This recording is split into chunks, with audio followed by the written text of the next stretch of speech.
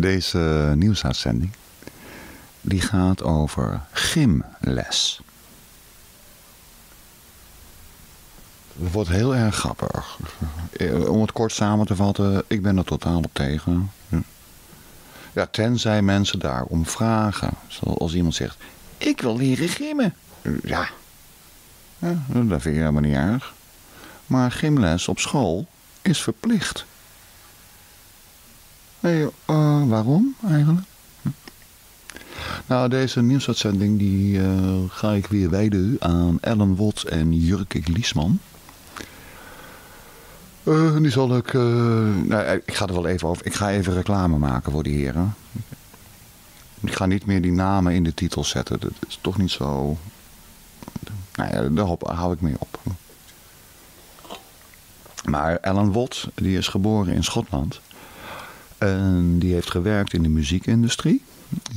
Die woont nu in Ontario. En daar woont in het noorden van Ontario. Ergens in een landelijk gebied. En in het geval van Canada moet je dan denk ik denken aan een bosrijk gebied. Of ergens in de bossen wonen. Waar Ellen Watt van leeft, uh, geen flauw idee. Hij heeft uh, boeken te koop, dvd's te koop. En voor de rest uh, zet hij alles gratis en voor niets op het internet. Ja, dat laatste lijkt me dat je daar geen, nou, dat je daar niet rijk van wordt. Hè? Dus hij zal dan wel wat anders doen, denk ik. Of hij heeft heel veel geld verdiend in die muziekindustrie. Dat kan natuurlijk ook. Ja. is een goede gitarist hoor. Alan Watt heeft nog een keer, dat was in 2012 of zo. Toen zat hij nog bij RBN. Ja. ja. Republic Broadcasting Network. Is een radio host. een eh, radiopresentator. Had hij ook uh, dat, je, dat je mocht bellen. Hm? Kon je Ellen Watt even bellen. oh, oh, oh, oh, oh. Een hele mooie was, er was iemand uh, die... Het gaat over 9-11 gaat dat, hè? die 11 september aanslagen. Iemand die had dus gehoord dat er een man is opgestaan en die werkte in het Amerikaanse leger op een vrij hoog niveau. Alan Sabrowski. S-A, Sabrowski. Met allemaal S'en. Alan Sabrowski. Alan Sabrowski die, die heeft uh, moord en brand geschreeuwd. Want uh, de Joden hebben het gedaan. En die man zei tegen Alan Watt, kijk, nu is alles opgelost. Want uh, Alan Sabrowski uh, heeft uh, de klok geluid. En Alan Watt zei tegen die man van, nee joh, maak je daar niet zo'n zorgen. dat scheelt helemaal niks. En hebben de Joden 9-11 gedaan? Dat is natuurlijk een vraag. Hè? Nee, helemaal niet. De Joden niet. Nee, maar af. De hofjoden werken mee met de paus.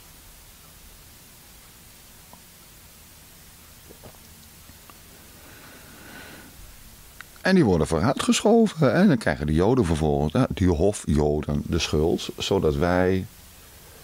Uh, gaan denken dat het uh, uh, aan de joden ligt dan krijgen wij weer ruzie met de Joden. En dat is precies wat de paus wil. De paus wil ruzie, want de paus is namelijk de grote bruggenbouwer. En die kan alleen maar bruggen bouwen als er ja, ruzie is. Als er een, een, scheiding is tussen uh, twee, uh, ja, een brug, hè, dat is een verbinding van het ene stuk land met het andere stuk land. En ertussen loopt een rivier of een zeearm. En dan bouw je een brug. Nee, de paus houdt van ruzie. Nou, dat over Alan Watt. De link naar zijn website is cuttingthroughthematrix.com. Die staat hieronder. Even klikken. Goed naar luisteren. Je kan uh, Alan Watts ook, als je die zoekt op YouTube, kan je ook van alles vinden hoor. En bij YouTube is het wel handig dat als je dan één filmpje kijkt van Alan Watt, dat dan in je voorgestelde suggested video's, dan komen er nog andere van hem naar omhoog. Vooral die oudere uitzendingen, ja, geniaal. Ik heb er vandaag een geluisterd uit, 2006 of zo. Dan is zijn audio een beetje brokkelig. De laatste tijd is erg goed hoor. En toen leefde zijn hond nog. Die hond die heet Hamish. Ik ben er eindelijk achter. Dus niet Amish, maar Hamish. Ja, Alan Watt is een schot. Nou, en waar heeft Alan Watt het over? Nou, die heeft het over het systeem wat er is en waarin jij en ik en Alan Watt ook geboren zijn. Een systeem waarvan de architectuur, de, de, de gedachten, Oh, dat is uh, eh, 5000 jaar oud, maar. Dat systeem is geëvolueerd, dat wel. niet meer zo overduidelijk, walgelijk als vroeger. Dus die, heersers, eh, die verbergen hun walgelijkheid. Dat moeten ze wel, want anders gaan we het gelijk over onze nek. En dan stoppen wij met het produceren van kinderen. En dan hebben zij geen slaafjes meer. Ja wel blijven doorneuken in Auschwitz. Hè? En al je kinderen aan ons geven.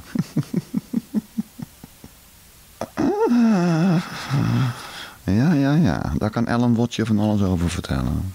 Het begon, uh, ja, volgens de geschreven geschiedenis, begon dat 5000 jaar geleden.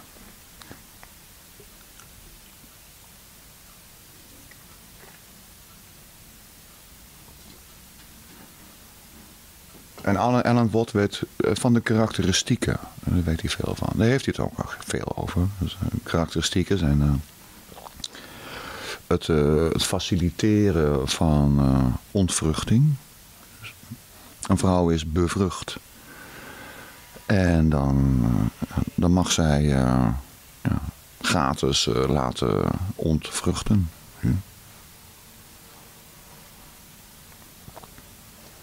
Ja, kun je zeggen. Maar ze willen toch juist slaafjes? Nou, die krijgen ze toch wel. En ze hebben momenteel te veel slaafjes. Veel te veel. We zitten nou met 7 miljard, uh, afgerond, 7 miljard slaafjes. Die allemaal zo van die hondjes van... Ja, wat moet je ermee? Ze willen toe naar een, een duurzame heerschappij. En nou, ze gokken momenteel dat ze ermee wegkomen met 500 miljoen slaafjes. Dus dat is nu de fase waar ze in zitten. Maar om dat te bereiken hebben ze slaafjes nodig om ervoor te zorgen dat je van 7 miljard slaafjes teruggaat naar 500 miljoen. Van die slaafjes die werken voor de Europese Unie en die gaan dan helpen om te, tegen iedereen te roepen van ja, laat je injecteren met T-merosol. Want daar zit kwik in. En dat kwik dat nestelt zich in je hersenen. En dan krijg je dus zenuwstoringen van. Als je me niet gelooft, dan moet je, moet je er voor de gein eh, als jij een oude versterker hebt. Nou, en die doe je aan, laat je lekker warm worden. Eh, dan uh, doe je op dat elektronisch deel een, een vingerhoedje kwik.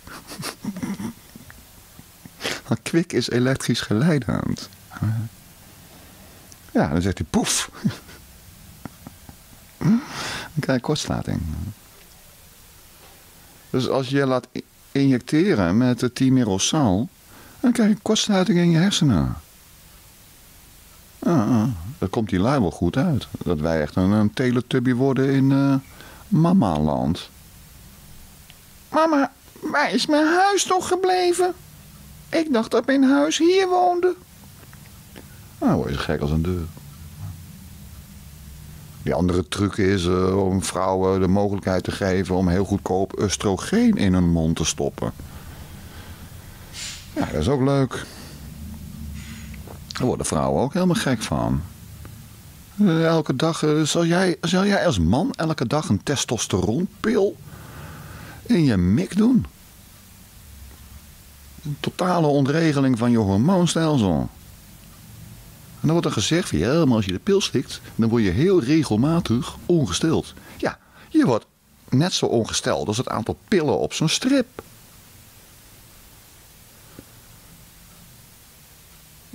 Weet je dat als je een groep vrouwen hebt die langdurig samen hm, wonen, die worden gezamenlijk ongesteld. Eh, je hebt zeg maar, een woongroep van vrouwen. Nou, dan wonen er vijf, die worden allemaal gezamenlijk ongesteld. Dan komt er een zesde, die mag er ook bij. Ja, die heeft haar eigen ritme. Ja, en dat duurt dan zoveel periode. En dan loopt het allemaal harmonieus hoor. is uh, lekker handig hoor.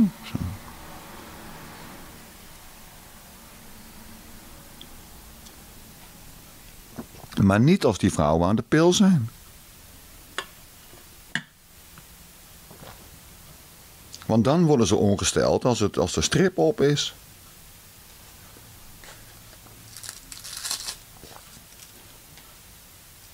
Dat is ook een manier van verzwakking. Hè?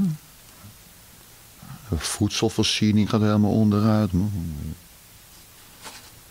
Nou, dat weet Ellen wat. Van hem kan je er meer over horen. Nou, de andere link die hieronder staat, die is van Jurk Gilisman.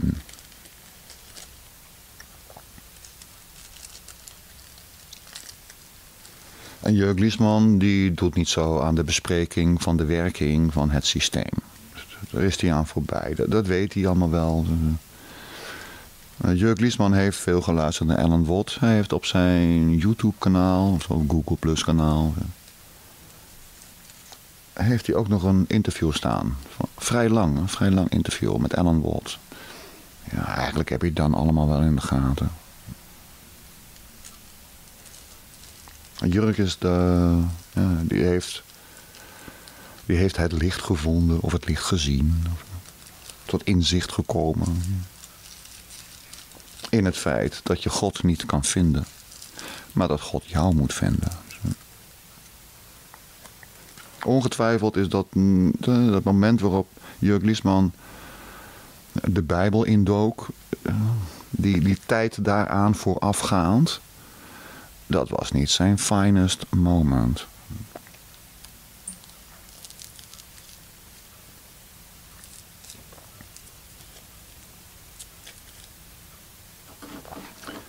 Even een dingetje binnen. Oh, weer van die stomme spam. Slaat ook helemaal nergens op. Jörg Liesman die doet veel geschiedenis, net als Alan Wold. Maar dan de, ja, de protestantse geschiedenis.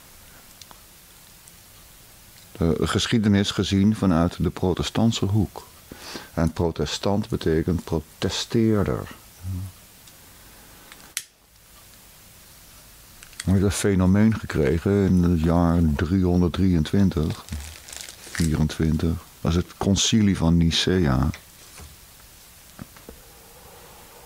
Want ze waren die christenen die naar niemand niet luisterden, hun hele eigen dogma hadden. Er was helemaal geen hiërarchische kerk. Nee, ben jij maf. Iemand met een boerenschuur. En een paar van die hooibalen. Nou, die had een kerk. En van tevoren kwamen ze langs om de hooibalen neer te zetten. Ik zeg maar wat, hè. En na afloop was er altijd wel iemand en die, uh, zette alles weer netjes in de hoek. En dan was die boerenschuur weer vrij om Clara 13 erin te laten schijten.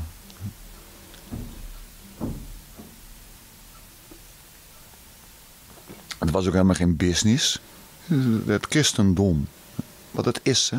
Wat het werkelijk is. Het is geen business.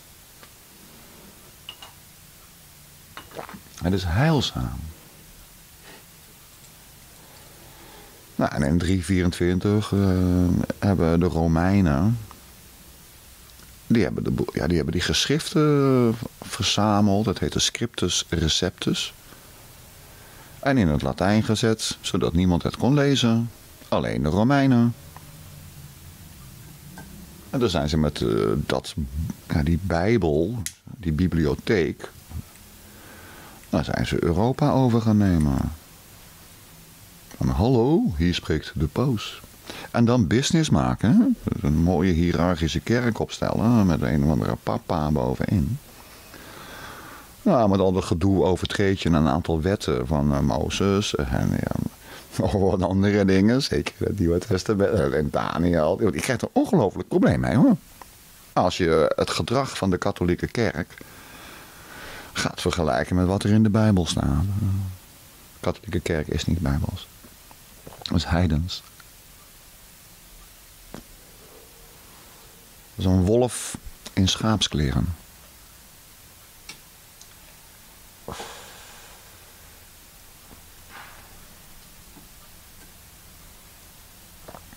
Dat werd Jurk.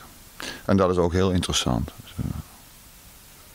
Word je ook niet zo vrolijk van af en toe, maar niet, niet van Jurk niet, daar heeft niks mee te maken. Met, met wat je dan leert. Maar met Ellen Wold ook niet. Uh, allebei de heren zeggen het recht voor zijn raap. Er wordt tegen ons gelogen, we worden bedrogen, we worden bestolen. En niet sinds gisteren, sinds Mark Rutte kabinet nummer 16. Nee joh, maafketel.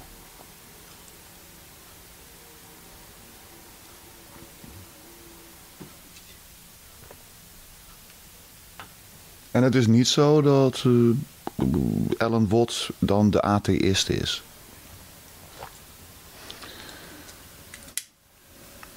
Ellen Watt gelooft. Dat is een gelovig mens.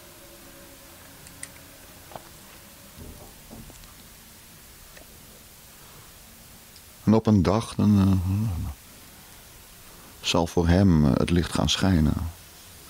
En dan gaat hij cashen hoor. Dan gaat hij heel gelukkig worden. Met zo'n bankrekening. Ellen Watt heeft, als, als Ellen Watt morgen overlijdt aan, weet ik wel wat. Dat hij vermoord wordt door de Illuminati. nee, dat zal niet gebeuren. Waarom? Ellen Watt heeft uh, tientallen keren meer uh, hond. Wat zeg ik? Duit? Nee man, dat, heeft heel veel luisteraars. Maar op de wereldbevolking is het ja, niet als nauwelijks aan de orde. Ze laten hem wel met rust. En mij ook. Ik word ook niet vermoord. Ik probeer hem in de gevangenis te belanden, maar ik weet niet of dat lukt. Hoor. Dat is maar de vraag. En anders ga ik vrijwilligerswerk doen. Als een rechtgeaarde communist. Nou, deze uitzending hè, gaat over gymles. Waarom is gymles verplicht? Pourquoi? Ja, want anders bewegen de kinderen niet goed en dan worden ze ziek.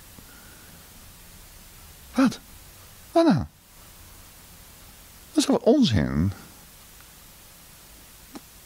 Vanaf me, zo gauw ik kon lopen, dan ging ik altijd lopen. Dan ging ik vissen. Of je, dan heb je een visvergunning, die kost vijf gulden per jaar. Nee, maar dat is duur. Dus dat is 2 euro per jaar. Hè? Ja, dan heb je zo'n kartonnetje. En dan moet je er wel bij hebben. Want ze hadden viscontroleurs in die tijden. Want in Amstelveen zaten heel veel vijverpartijen. En die werden door visverenigingen onderhouden. Dus er werd uh, van een kleine spul uitgezet. Nou, dan maak je een mooie populatie van, uh, van vorentjes en uh, baarsen.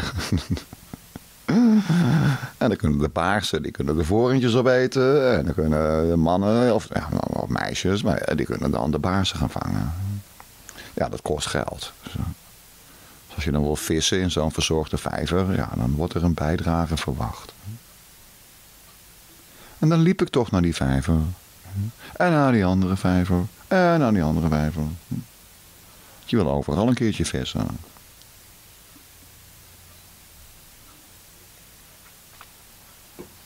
In de buurt van de Lindenlaan heb ik nog een keer een snoek gevangen. Met een blinker, dan, dan mogen ook gewoon. Je mag met blinkertje vissen. Met je werphengel moet je iedere keer... En dan ben je er volop aan het bewegen. En dan moet je ook nog gimmen. En waarom? Dat is de reden van gimmen van ja, maar kijk, als we geen gymles inplannen, dat is toch twee uur in de week, ja, dan gaan die kinderen twee uur langer per week buiten spelen. Nee, want ze moeten bewegen. Ik was altijd aan het bewegen. Mijn zus had rolschaatsen. En die wilde op uh, turnen.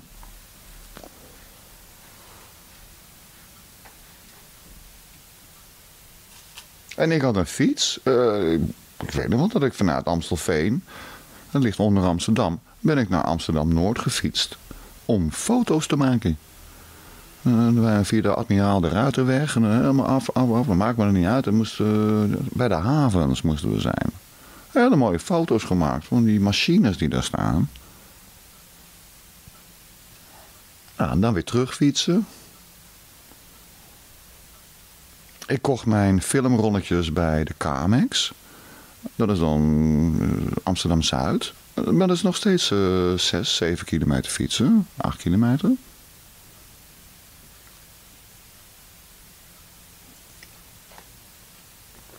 Ik had beweging genoeg. Hoor. En als je een ouder hebt met een heel lui kind... en die beweegt maar niet... Ja, dan moet je naar de orthopedagoog. Maar omdat er ouders zijn met kinderen die helemaal niet bewegen... en die alleen maar zo'n beetje op de bank, een beetje depressief te wezen... en dan jij als ouder van... nou, gelukkig krijgt Kareltje twee keer per week verplicht dat hij moet bewegen. Dan, dan dat voor iedereen... Dus ik moest gimmen omdat er kinderen waren die niet bewogen. Ik snap dat niet hoor. En daar gaat het ook helemaal niet om. Een gymles is ons op jonge leeftijd te leren uh, dat je allemaal in je blootje na afloop moet gaan douchen. Allemaal blote kinderen in een, uh, in een doucheruimte. Ja, dat is vernedering van de mens, dat is het. En daar gaat het om. De, de substantiële, duurzame vernedering der mens. Een andere reden is er niet. Want van mij mag... Ik had... Ik had een vriend. En die zat op atletiek. Dat vond hij leuk. Ja, als ik zijn lichaam had gehad, dan was ik ook naar atletiek gegaan. Een boom van een kerel. Die kon hardlopen, jongen. Zo.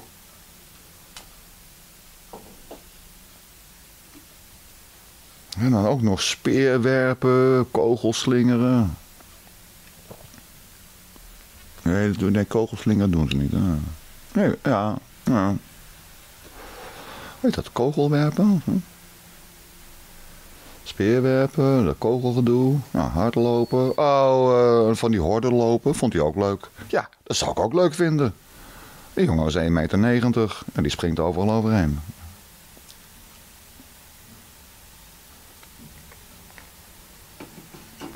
Nou, genoot hij van. Ik ben niet tegen het sporten van mensen. Als mensen willen sporten, willen maar voor dingen doen, ja, moet je lekker zelf weten. I don't care. Dat mag van mij allemaal. Ik ben heel vrijdenkend. Maar om dat verplicht te stellen. Groot probleem.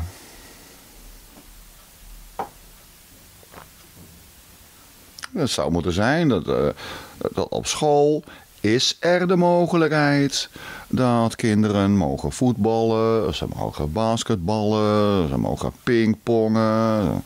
Dat is toch leuk? Ik zou zeggen, biljarten. Nu. Hier een school, uh, in het gymlokaal, zullen we zeggen. Waar je gaat bewegen. Er staat ook een biljarttafel. Het hoeft helemaal geen wedstrijdtafel te zijn. Gewoon een normaal tafeltje. Met een beetje fatsoenlijke keus. En dat er van die krijtjes zijn.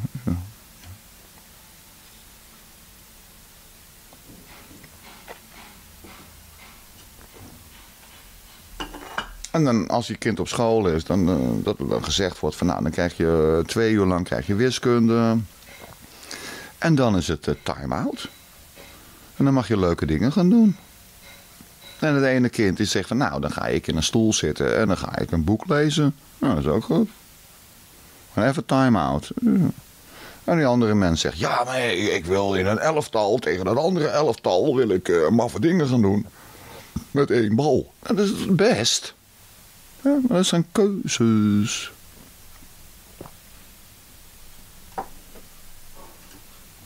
Of dat je kind zegt eh, van, oh, ik heb twee uur uh, time-out.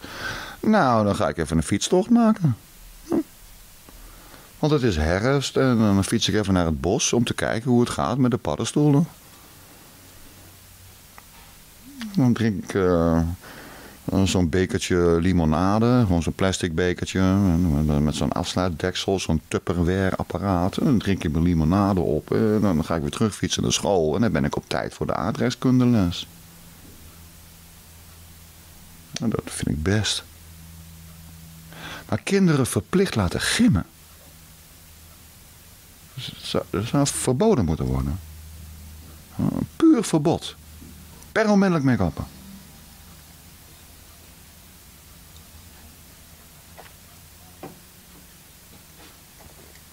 En mijn dochter die zat op de HAVO hier bij het Beekdal Lyceum. Eh,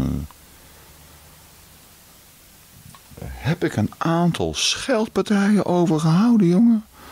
Allemaal netjes opgenomen en opgeslagen en dan weer teruggeluisterd. En dat ik dacht van, nee, laten we dit maar niet publiceren. Nou, mijn dochter zit op dat, uh, dat, dat Beekdal Lyceum. En op een dag, die had ook een pesthekel aan gym. Dat is één aspect met mijn kind wat ik volledig deel.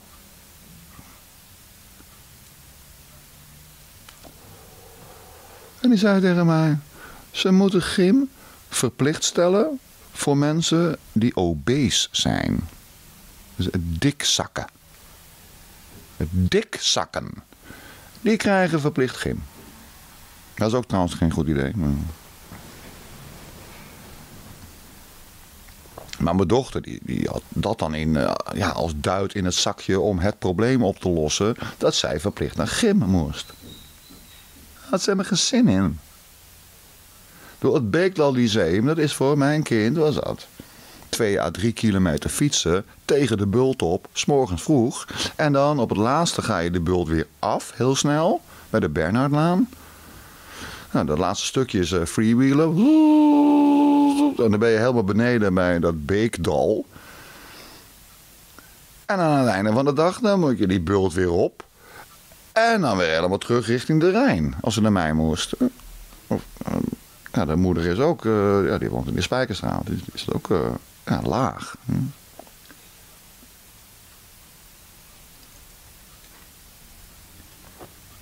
En dan ook nog gimmen. Nou, mijn kind helemaal geen zin in. Nee, natuurlijk niet. En in die tijd, als het over zat te kankeren, dan denk ik, ha, ha, ha, ha, ha, ha. Het lijkt mijn dochter wel. Had ze een beugel. En regelmatig moest ze dan voor de, de beugelcontrole. Uh, dus ik vroeg aan haar van, la la la wanneer moet je dan weer? Ja, zei ze morgenmiddag. Maar dan heb ik wiskunde. En dan mis ik wel een les. Ik, ik zei, wat? Ja, want uh, ja, er werd gezegd, uh, kan je volgende week woensdag om drie uur? En ik heb gezegd ja. Maar dan mis ik wel wiskunde en uh, vrijdag hebben we tentamen. Zei, what the fuck? Je plant je bezoek ze zat ook bij de oogarts en bij wat andere faciliterende, faciliterende instanties. Ik zeg, plan je toch in tijdens je gym? Homo.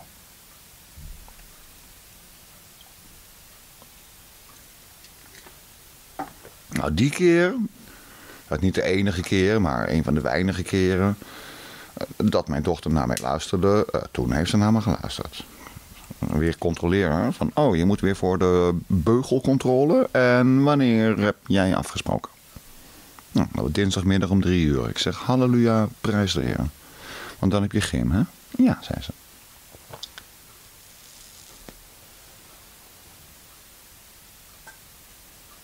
Op het Heijmans College in Groningen. Daar was ook de gymles verplicht. Dus ik ben er weggekomen met een 6. Ik heb er nog iets uitgesleurd. Ja, je moet geen onvoldoende hebben. Het is nog belachelijk voor woorden. Eh, je hebt een 8 voor wiskunde. Je hebt een 8,5 voor wiskunde 2. Je hebt een 7,5 voor scheikunde. Je hebt een 9 voor natuurkunde. Je hebt een 9 voor biologie. Maar je krijgt geen diploma. Want voor gym heb je een 4. Dat moest ik niet hebben. Maar de gymleraar die wist dat wel. Die heeft mij er doorheen geslaasd. Geweldig. Dat was een mooie schooltijd. Op het Heijmans College in Groningen. Ik, ik, weet niet wat er nu nog van over is. Maar, maar in die tijd, dat was onderwijs, joh. Wow. Hele aandachtige leraren. En dat was uitsluitend VWO en gymnasium.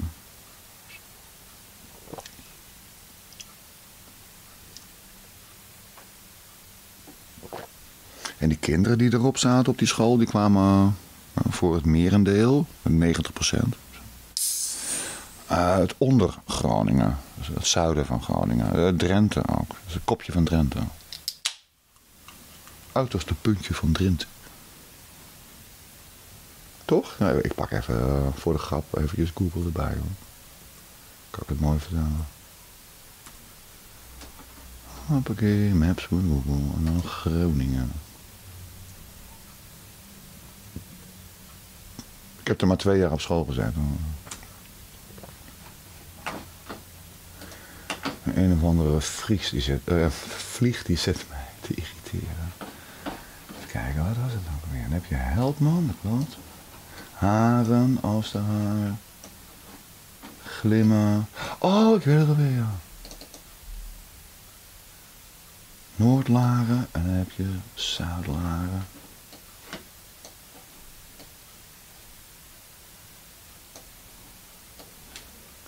Daar wonen al die mensen. Eh, in Glimmen. Daar woonde mijn beste vriend. Uh, dan Paterswolde. Daar woonde, weet je ook weer, Nienke Meppel werd hij door... Uh, oh, dat is een flauwe grap. Zo heten ze niet.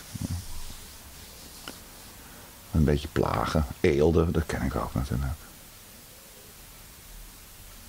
En mijn andere vriend, die woonde dan... Want dat is vlak bij de punt. Waar die treinkaping was met uh, die monnikers. Ja, het leven is bijzonder hoor. En daar wonen al die rijke kinderen. De, de meeste hadden advocaten of architecten of whatever als ouders. En ik woonde boven Groningen. Met de, ja, dan moet je de weg pakken naar Lauwersoog. Oh, wat heb ik een lekkere fiets, man. Dan kom je eerst langs uh, Adorp. En dan langs Sauwert. En dan krijg je... Uh, oh, dit is opgeheven. Oh, het is alleen maar Wetsingen geworden. Wat is dat nou weer? Nou, vroeger was het Zuid-Wetsingen. Nee, Klein Wetsingen. Ja, oh, dat had er nog wel, ja. Groot Wetsingen, en daar woonde ik. En kleine Wetsingen, uh, die was, uh, daar woonden meer mensen dan in het in Groot Wetsingen. Oh, wat heb ik een lekker gefietst. Soms had ik gewoon zin om uh, ja, rechtsom te gaan. Niet via de provinciale weg, dat is de kortste route. Maar dan ging ik dus, aan de rechterkant. Ik wist ook wel hoe dat was had je zo'n hele, ja, zo'n zaggerijnige kuthond. Bij die ene boerderij dan. En ik had een Vongers fiets. Dat is een Groningse fiets. Een racefiets. Een rode. Nou, goed onderhouden. En dan wist ik dat als die, uh, die boerderij kwam in de buurt. Ja, ik kwam in de buurt van de boerderij. Die boerderij komt naderbij. En dan moet je even meten. En dan uh, op de pedalen staan. En dan, in, de hoogste versnelling. en dan met een kilometer of 30, 35 voorbij die boerderij. Want anders hangt die hond aan je broekspijp. En niet alleen aan je broekspijp hoor. Kan je thuis gaan lopen zoeken naar een pleister. Als dat voldoende is.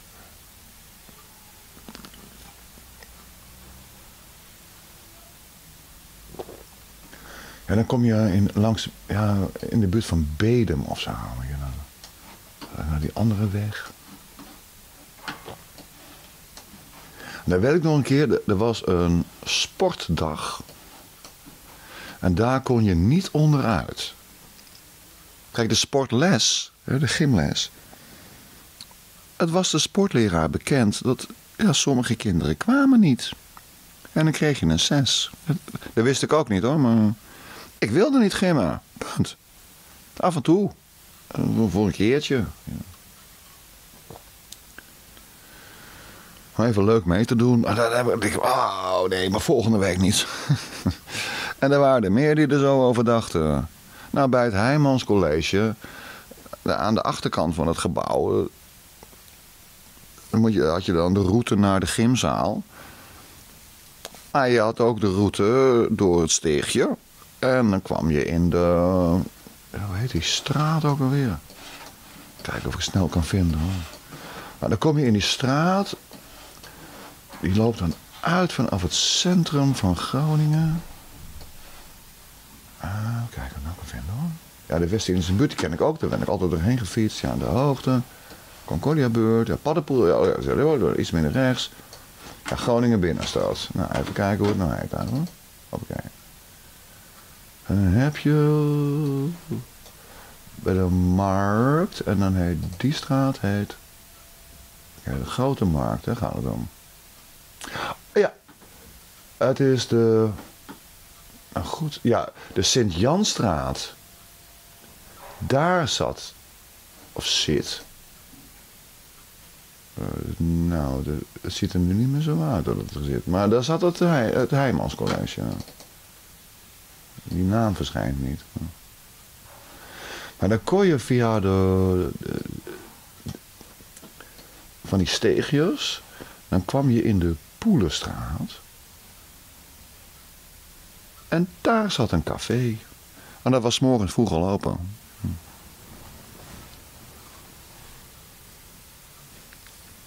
Nou, daar kocht ik koffie. En in die tijd had je van die muziek van... It's a brick house. You're mighty mighty. Ja, she's a brick. Nee, she's a brick of zo. House. Ja, dan ben je ook aan het bewegen, toch? Ik zat altijd te swingen op mijn baarkruk. Nou, je koffie opdrinken, zo langzaam mogelijk. Want ja, je moet twee uur kapot slaan. En op tijd terug zijn, want anders krijg je gezeik.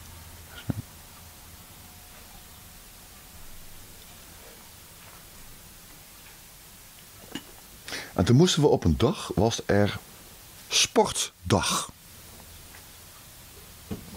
Nou, daar ben ik helemaal niet op tegen. Als mensen een toernooi willen gaan spelen, ja, go ahead en nok jezelf uit.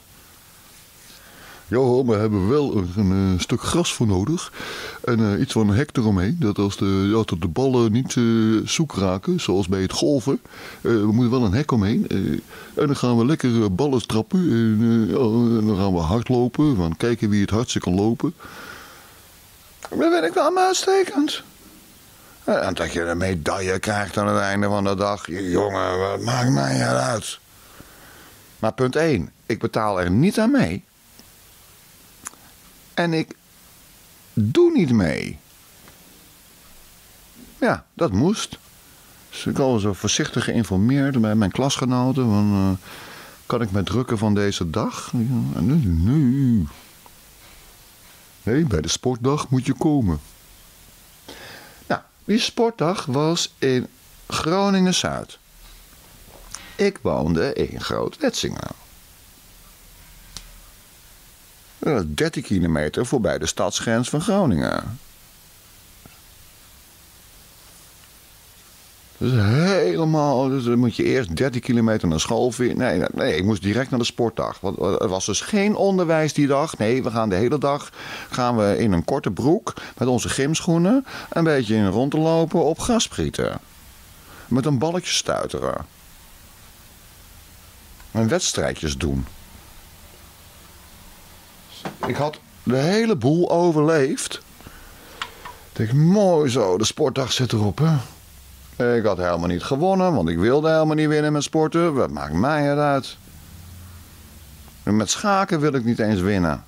Hm, ik vind schaken wel leuk. Dat wel. En ik vind het wel geinig als ik win. Hm, ik heb ook hele mooie partijen gespeeld. Op internet gaat het dan tegenwoordig. Dus nou, op internet speel ik schaak vanuit het bed. en ik heb partijen verloren dat ik dacht van... Oh, Perry, wat ben jij een sukkel op mijn flikker gekregen van een jongen uit Parijs. Van, uh, wat was die gozer? Een jaar of dertien.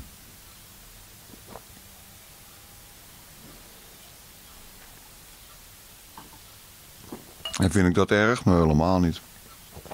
Maar dat doe ik als vrije wil. En een toernooi winnen, joh, god de vig. Als er mensen een toernooi willen winnen, nou, dan gaan ze allemaal eh, van tevoren 10 euro inleggen. En de winnaar die krijgt eh, het inleggeld. En de arbiter, de scheidsrechter, de sportleraar, ja, die pakt 10%. 5%. Dat vind ik best. Ze allemaal een gokje wagen. Maar niet op mijn kosten. En zeker niet mij verplichten om daar naartoe te gaan. En dat veld wordt gehuurd op onze kosten. Op mijn kosten dus.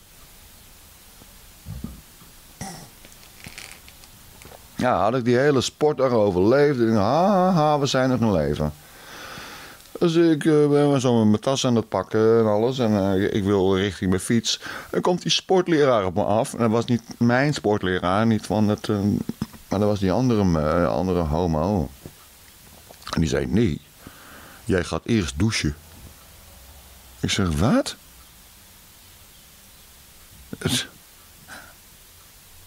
Ze kijkt die man zo heel droog aan. En zegt van ja, we zitten hier uh, vijf kilometer onder het centrum van Groningen. En dan uh, moet ik nog uh, nou, 15 kilometer ongeveer naar huis. En als ik thuis kom, ben ik totaal bezweet. Want als ik ga fietsen, dan ga ik niet als een bejaarde met een elektromotor. Want in die tijd had je dat helemaal niet. Nee, ik ga niet zo heel langzaam in uh, versnelling nummer 1 of nummer 2. Zo. Uh, oh, op een mooie Pinksterdag. Ho, ho. Nee, homo. Ik ga nu naar huis. Uh, ik ben binnen een uur en een kwartier ben ik thuis. Met een gemiddelde snelheid van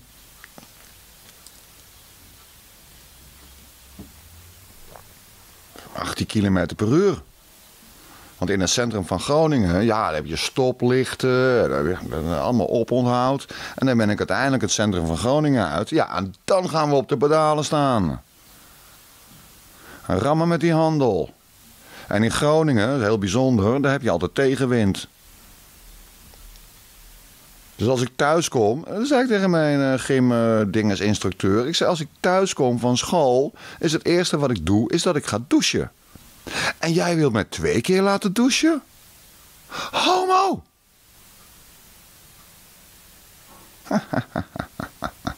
ja, daar had die man niks op te zeggen.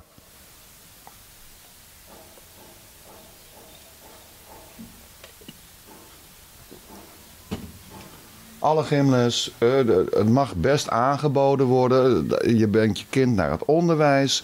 En dan heb je een soort stemformulier. En dan kan je aankruisen. Ik wil dat mijn kind toegang krijgt tot gymvoorzieningen. En dat kost je dan 5 euro in de week. Nou, dan kan je een kruisje zetten. En dan betaal je 250 eh, euro per jaar. Dat is jouw keus. En als je kind tegen jou zegt van mama, eh, dat kruisje kan je weghalen, want ik vind gimmen helemaal niet leuk. Ik ga liever net als Perry, ga ik op mijn fiets, ga de weilanden in, dan ga ik eenden tellen, net als Aristoteles. Dan ga ik met mijn vrienden in de bomen klimmen. Ik heb die hele gymles niet nodig. Ik ga wel vechten op het schoolplein, want ik heb nog een bak klootzakken die ik in elkaar moet slaan. Laat die gymles maar zitten. Dan kan je moeder dat kruisje weg laten halen. Gaat tegenwoordig dan heel eenvoudig via een appje. Maar mijn kind hoeft niet meer... Uh, nee, uh, nee, die doet niet meer mee. Dus dan mag je kind niet naar gym. En als jij als moeder een kruisje hebt gezet en dat je tegen Joris, jouw kind, zegt: Jij mag naar gym. En dan vraag je regelmatig: van, Ga je wel naar gym? En als Joris zegt, nou, nee, nee, de laatste keer niet. Dan ga je tegen je kind zeggen, maar Joris, jij gaat volgende week naar gym. Of mama haalt het kruisje weg. Want het kost mama alleen maar geld. Zeker zo'n sportdag. Kijk, dan gaan we praten. Dan slaat het ergens op. Maar kinderen verplicht naar gym sturen.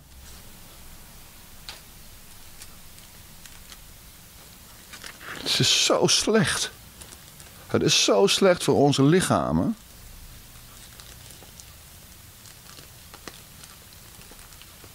Sporten zonder meer hoor. Echt niet goed.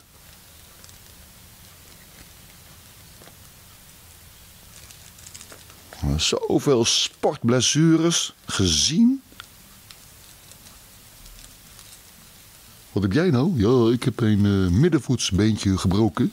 En daarmee voor altijd uh, het elektrisch systeem van mijn voet, nou, dat komt nooit meer goed.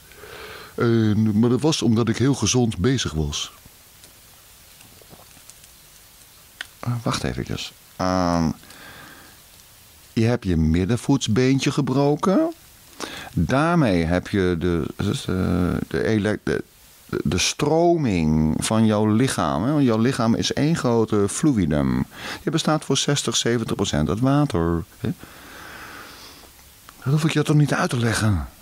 Nou, en daar gaat die elektriciteit doorheen met al die zenuwen en alles. En, dan heb je een, een stuk bot gebroken in je voet. En dat, dat komt dus nooit meer goed, hè? Ja, dat bot dat repareert zich wel. Dat, dat, dat gaat wel weer aan elkaar groeien. Maar het wordt nooit meer zoals het was. Ja, want ik was heel gezond bezig. Wacht, wacht, wacht nou even. Um, wat bedoel je met gezond bezig zijn? Nou, ik ben, uh, ja, dan ging ik uh, basketballen. Dit weet ik zeker, hè? ik zal niet vertellen wie het is. Ja, want elke maandagavond uh, ging ik uh, graag basketballen. Want uh, ja, dan ontmoet je toch mannen en zo. En ik, ik, was in die tijd getrouwd. Maar dan toch wil je wat andere mannen ontmoeten. En ja, toen is zo'n hele grote man is op mijn voet gaan staan. En toen had ik mijn middenvoetsbeentje gebroken. Ja. Dat is allemaal goed gekomen hoor. Nee, dat komt helemaal nooit meer goed. Homo. Een andere man die ik ken, die, die werkte toen voor het ministerie van Landbouw. Hij dronk geen alcohol, ja, één glaasje alcohol per verjaardag. Hij rookte niet, zeker geen wiet. Kortom, een saaie Piet. Maar wel, ja, voor de rest niks mis mee. En er was ook zo'n sportfanaat. En die komt op een dag, ik had toen een bedrijf in Oosterbeek, komt hij even langs op de racefiets. En had hij zijn hele linkerpols in het verband. Ik zei, wat is er met jou gebeurd? Ja, zei hij, ik was met mijn uh, mountainbike uh, lekker, uh, joh. En toen zag ik die ene steen niet. En het, toen ben ik drie keer in de ronde geflikkerd, pols gebroken. Ja, ja want ik ben gezond bezig.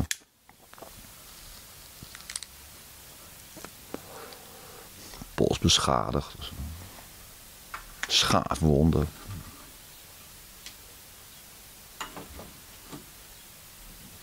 Ja, terug naar het bewegen, want bewegen is heel belangrijk. Daar maak ik geen geintje over. Maar wat dacht je van uh, schietsport?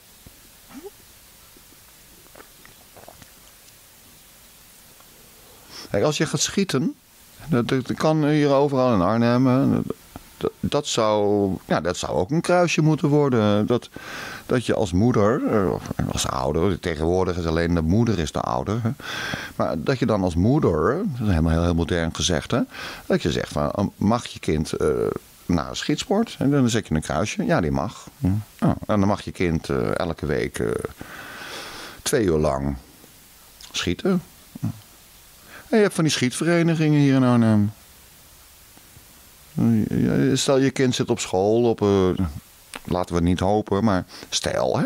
Je kind zit op school op het Beekdal Lyceum. Nou, en dan moet het dus als eh, de, het gymuur begint op de fiets stappen. Naar Schaarsbergen fietsen. Dan mag het een half uurtje schieten. En dan weer terug fietsen.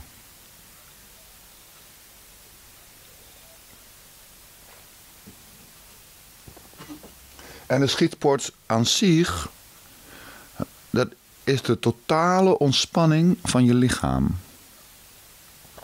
Dat is ook bewegen.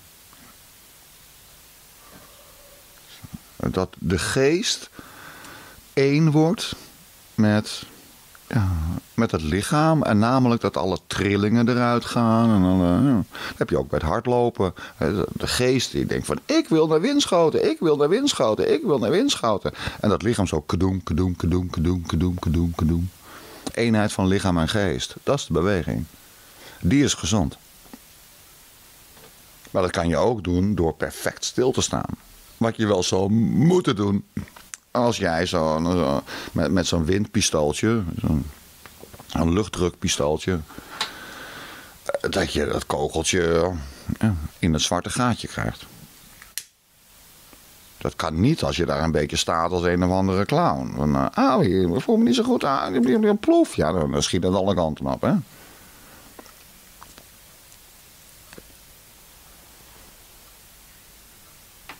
Dus ik vind het prima dat binnen het, het overheidsonderwijs, waar ik trouwens op tegen ben, maar als je dat dan toch wil doen, eh, dat je een soort menukaart aanbiedt.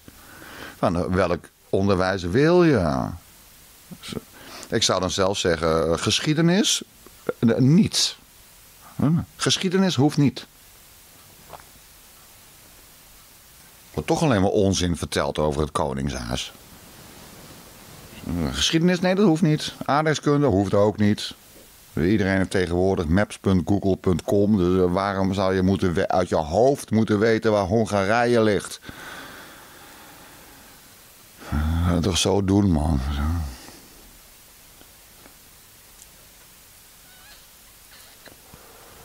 Allemaal lulkoek. Afschaffen die handel. Nou, wiskunde.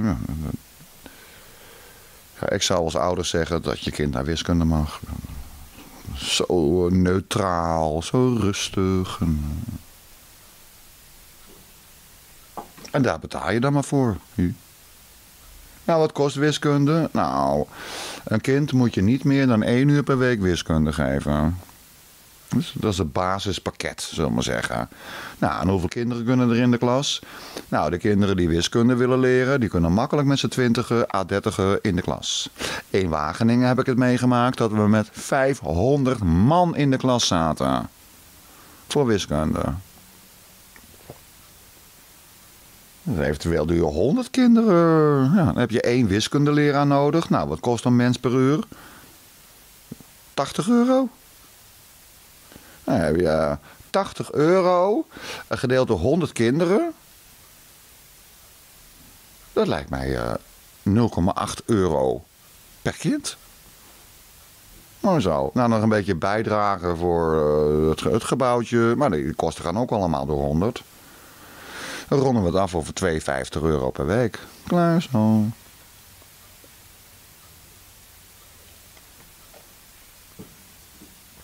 Ja, maar als mijn kind eh, in tijd, zoals jij zegt, Perry, eh, zo weinig onderwijs krijgt, wat gaat het kind dan doen?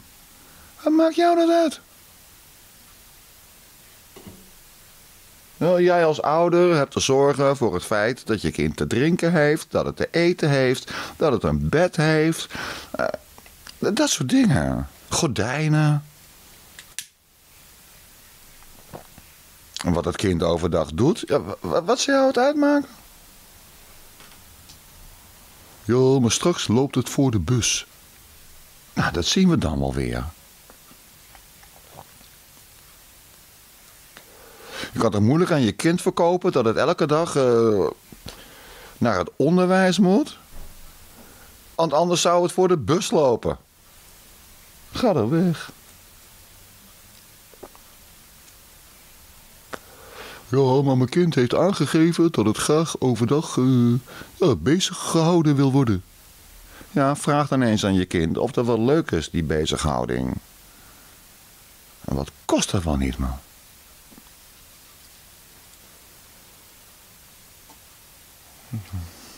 Het kan een stuk goedkoper hoor, dat hele onderwijs.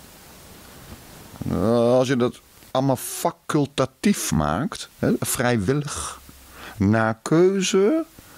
Je kind gewoon kiest. Hm, ik wil dit, dat dan interesseert me niet. Nou, niet laten doen. Geen kruisje, dan scheelt je weer zo wel. En niet meer dat onderwijs laten betalen vanuit de BTW natuurlijk. Nee, het onderwijs wordt betaald door de ouders die hun kinderen op onderwijs willen sturen. En dan alleen maar dit of alleen maar dat. Ik ben ook laatst uit eten geweest in een restaurant. Dat is helemaal heel, uh, ja, zegt een beetje dubbelop. En eh, ik had niet zoveel honger, maar ja, zij had best wel trek. Ik zei, nou, voor de gezelligheid ga ik mee. Daar hebben we alleen, wat hebben we gegeten? Nou, zij een soepie en ik een soepie. En knoflookbrood erbij. Nou, dat kies je dan toch voor je kind.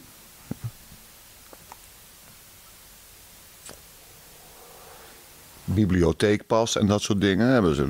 Nou ja, het zal weer leuk zijn als de bibliotheek terugkomt. Maar, in principe hoeft het niet. Ze kunnen op internet voldoende vinden. En anders koop je maar een mooi boek voor hem. Of voor haar.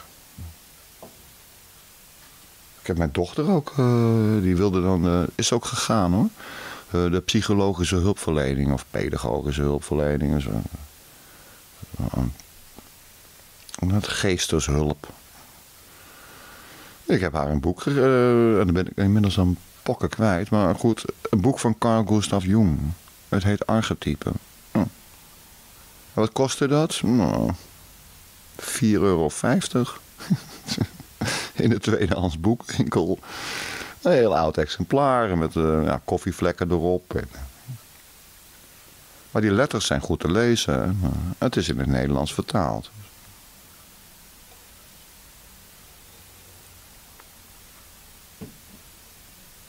Dat is toch onderwijs? En de rest is indoctrinatie. Shit, ik heb. Oh shit. Ik had een vlieg gevangen. Oh nee, dit is hilarisch. Ik had een vlieg gevangen onder een waterglas en heb ik het verkeerd. Oh, kut. Ik voer hier een strijd tegen insecten. Allerlei fruitvliegen die hebben het gemunt op mijn bier en die willen dan eh, dronken sterven. Ja, dat wil ik ook wel.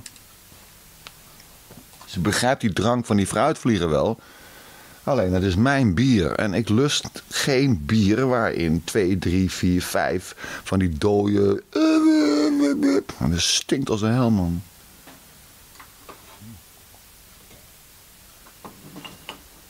En daarom zet ik een waterglas over mijn bierblikje heen. Maar ik heb er hier twee staan en met die ene heb ik die vlieg gevangen. Oh, wat had hij er de pest in. Ja. Dan heb ik het verkeerde waterglas op mijn bierblik gezet. Ja. Ik heb ook altijd geluk, hè. En dan gaat hij weer tegen mij inlopen dingen. Zo denk ik, hij zit onder mij te kijken. Van jij bent die joker die mij net heeft opgesloten. ja, hij weet niet wie ik ben. Nee hè, vlieg. hmm. er, is een... ja, er is een betere maatschappij er is een maatschappij, laat ik het zo zeggen. Er is een maatschappij.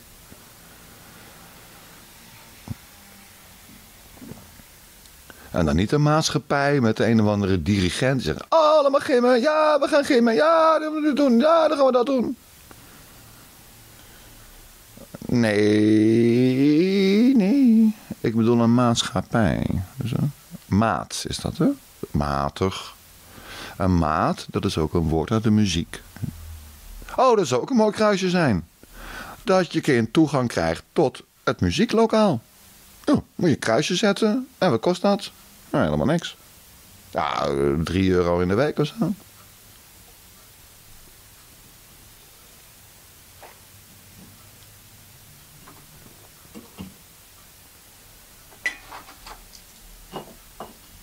Gewoon blokfluit spelen, gitaar. Of met uh, een of ander computerprogramma. Dan ga je mooie beats maken. Dansles. Maar ja, wat kost... En dan heb je het over een...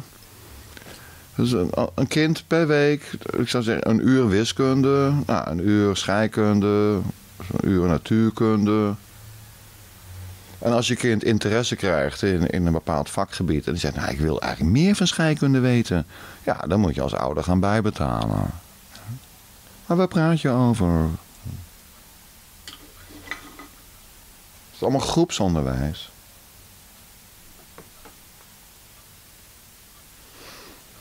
En die onderwijsinspectie, wel mee stoppen. Hoezo moet het onderwijs geïnspecteerd worden? Als er onderwijzers zijn eh, en die kinderen vinden dat helemaal niet leuk, en dan krijgen die onderwijzers geen geld. Punt. Dat is de onderwijscontrole. Hm. Inspectie.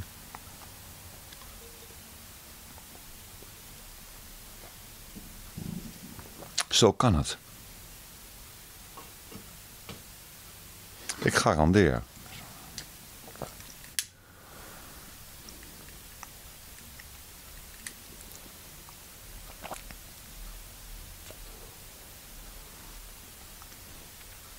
En die wereld die, die wij ons kunnen voorstellen, die is nu niet. En kunnen we dit systeem omdraaien tot zo'n wereld? Nou, ik dacht het niet. Ik zou niet weten waar je moet beginnen.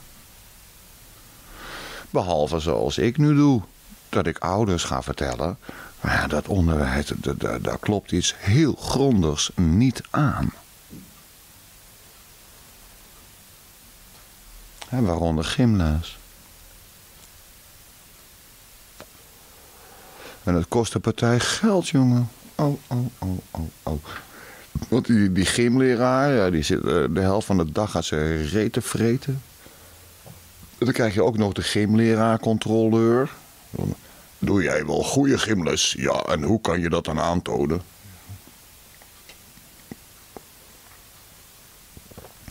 Ja, als we dat onderwijs dus afschaffen, dan, dan gaat de BTW terug naar 11 Zo, en uh, het hoge BTW. Oh, daar stoppen we trouwens ook mee.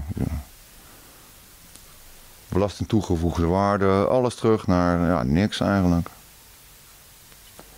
Moet je kijken hoeveel geld we dan overhouden. Ja, dan heb jij wel geld om je kind uh, een tientje in de week te betalen voor die extra wiskundeles, omdat het jongetje dat zo graag wil. Of dat meisje. Dan heb je, dan heb je dat geld over. Wat geef je uit in de maand aan BTW? Afgevraagd? Jij hebt een inkomen van 1300 euro. Nou, daarvan gaat, we maar zeggen, even, even de rekensom een beetje makkelijker maken. Je hebt een inkomen van 1000 euro. Dat geef je allemaal uit, toch?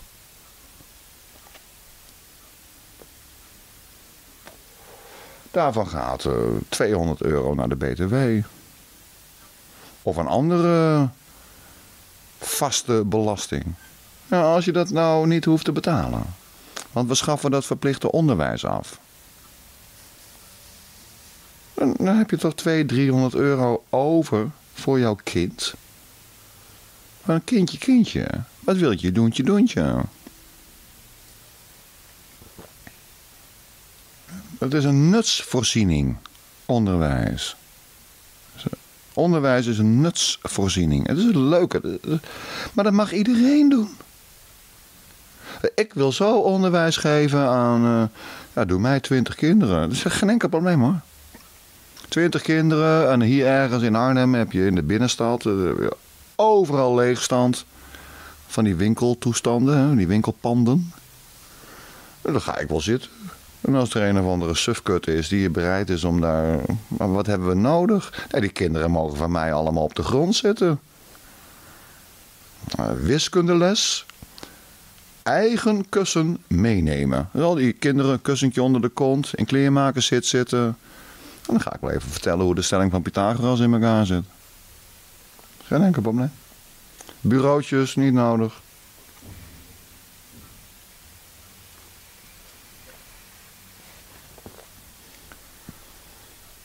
Wat kost dat? Ja, ik hoef voor een uur... Hè, dus, hebben we hetzelfde rekendinges weer. Dat is wel iets duurder, maar het kost dan 80 euro per uur.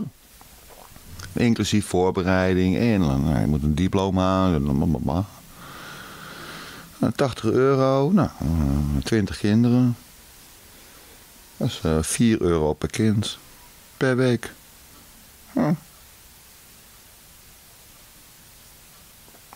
Zo. 4 keer 4 is uh, 16 euro, zeg maar 20 euro per maand. Ja, maar vanwege die btw-afschaffing eh, had je dus 300 over. Nou, voor een tiende daarvan eh, leert je kind wiskunde. Voor de rest je kind buiten laten spelen. Geef het een zakmes.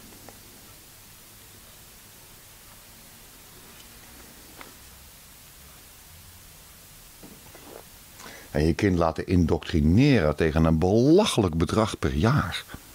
Ja, uh, mama die... Uh, Even gewoon het nieuwe gezin. Hè? Dat is, vroeger had je de man, de vrouw en het gezin. Het is tegenwoordig de vrouw en het gezin. Dus mama zegt tegen haar kinderen. Ja, het onderwijs is gratis. Maar mama die betaalt wel 200, 300, 400 euro eh, aan, aan nutteloze belastingen. Verplicht. ah. En leer je kinderen rekenen. Homo van een moeder. ja, dat was niet beledigend bedoeld. Dat, daar gaat het mij niet om. Het gaat mij om de verstandigheid. En dat wij inzien dat wij leven in een systeem wat onnatuurlijk is. Het hoort niet bij ons. Dit, dit mag je niet eens doen met koeien. Laat staan met mensen. Hey, dank jullie wel voor het luisteren. Ik stel het erg op prijs. En op zijn hamburgers, Saki. Tjus. En dag lieverds.